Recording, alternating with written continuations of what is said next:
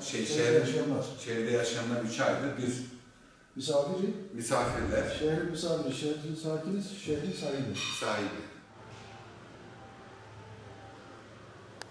Öğretmenler Günü münasebetiyle Güzel yapmış. Peygamber Efendimizin Eğitim Metotlu isimli kitaptan 2000 adet Eğitim Bir Sen Başkanımız Sayın Kerem Yıldırım'a teslim ediyoruz. İnşallah onlar da ilçede yaptıkları gezilerde öğretmenlere takdim etmek suretiyle okurlar istifadelerini, istifadelerini de inşallah öğrencilere sunarlar.